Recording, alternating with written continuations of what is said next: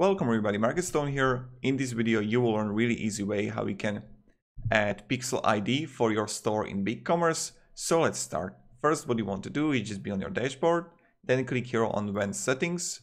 In Advanced Settings you want to click here on Web Analytics. In Web Analytics you want to click here on Facebook Pixel and click Save.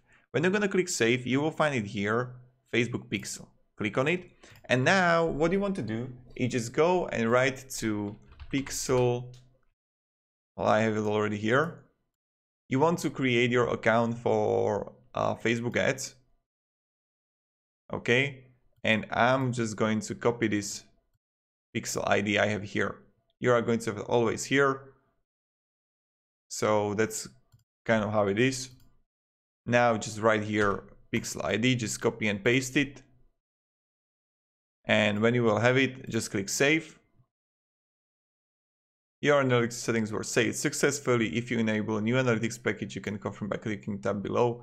And this is how it is. Also, I recommend adding Google Analytics if you didn't do it. It's the same thing. When you're gonna click on Google Analytics, click Save and just add manually the tracking ID.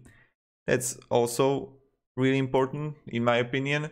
And that's kind of it. So this is how you can add the pixel ID if you have any questions, ask down below in the comments and I will try to help you. And yeah, thank you everybody. Have a great day and see ya. Goodbye.